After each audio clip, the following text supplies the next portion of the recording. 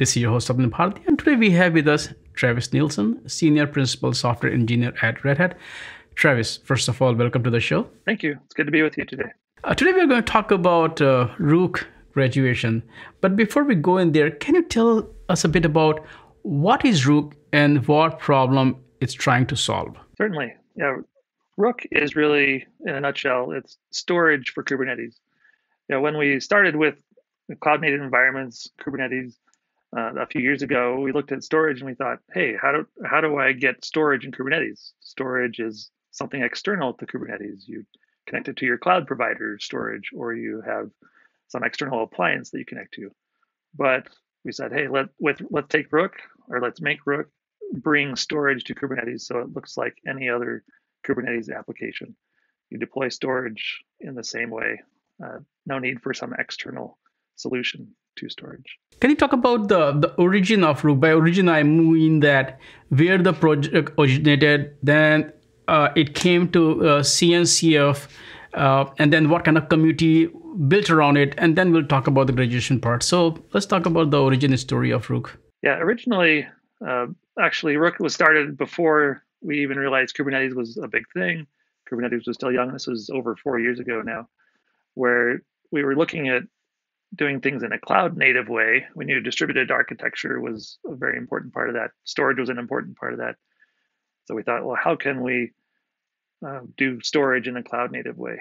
And we even started building our own solution based on etcd, uh, and but but that was complicated very quickly. I mean, building a distributed platform is, is very difficult, and and so we we realized Kubernetes has a solution for this already.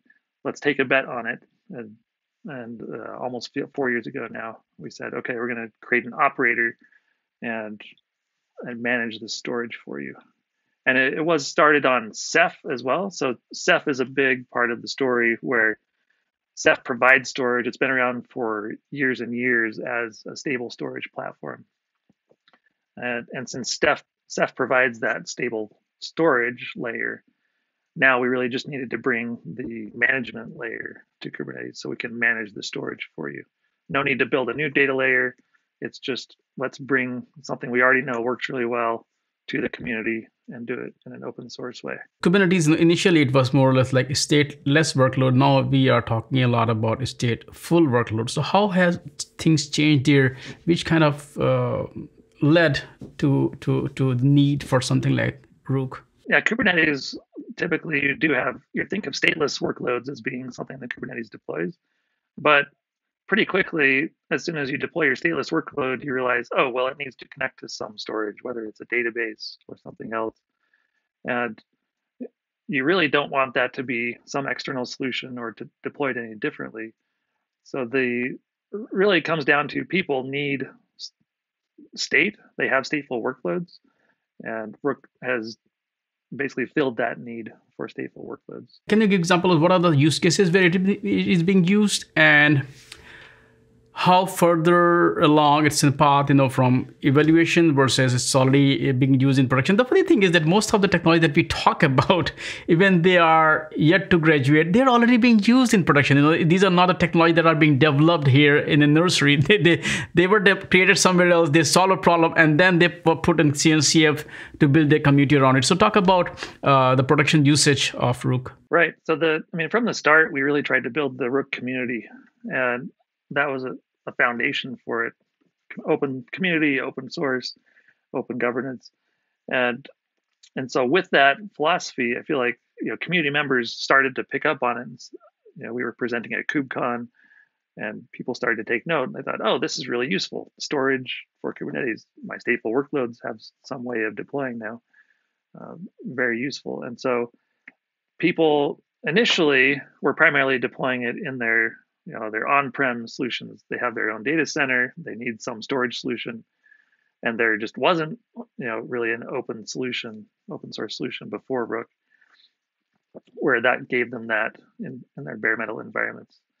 And now it's expanded more. There are scenarios where rook is also useful in in cloud deployments. So even if you're running in a cloud provider that has some storage behind it like google cloud aws or azure or others um, even if you're in those environments, Rook provides a consistent storage platform and also improves some scenarios around performance for small volumes and uh, the number of volumes you can mount and, and things like that. So there are advantages, you know, a lot in bare metal environments where there's no other solution really, and and even in cloud environments. As uh, you rightly mentioned that these technology were used in production. So what does graduation really mean? One, uh, the project itself, or the the the the community itself, and users. Does it really matter that project is graduated? That's a good question. The I don't think anything would have changed ultimately in how we've created the project, the features we're adding, and things. Uh, but really, what graduation means to the project is that uh, the community recognizes it as something that's positive for the, the ecosystem. You know, the CNCF has built this and helped nurture this ecosystem around uh, Kubernetes and distributed architecture, cloud native solutions.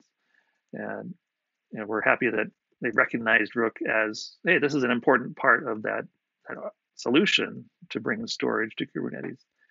And so it has brought more visibility, uh, more um, yeah, just more help in getting people on board. Since it's, it's an open source project, so everything is already there for people to see. Uh, but still, if we ask, you know, what does the roadmap of uh, Rook look like, or um, what are some of the challenges that you're still trying to solve, or features that you're looking at adding to the project? You know, first and foremost, we want to continue with our releases that are stable. We have lots of people in production, so keeping them running first is always is always the priority. Uh, beyond that, it's really you know software is always evolving. Kubernetes has new versions come out. Ceph has new versions come out, and Rook needs to adjust to those. And so I'd say that's the first priority. Keep up to date with whatever the latest platform is you know, is providing us, but also really you know every with every update there are new features. Uh, the next release we have uh, coming up in mid-November we're planning on, uh, well, a number of features. Uh, I guess I don't need to go into all of them, but ultimately adding new uh, new features for the storage providers like Ceph. Ceph is our main stable storage provider, and also looking for contributions to get our other storage providers um, up up to a stable state like NFS, uh, Cassandra, and others that that are still in the alpha state just because we're looking for more involvement from the community there to get that interest up. Travis, uh, thank you so much for taking time out from your schedule today and talk about Rook. And I look forward to talk to you again. Thank you. Okay. Thank you. It's been good, good to be with you.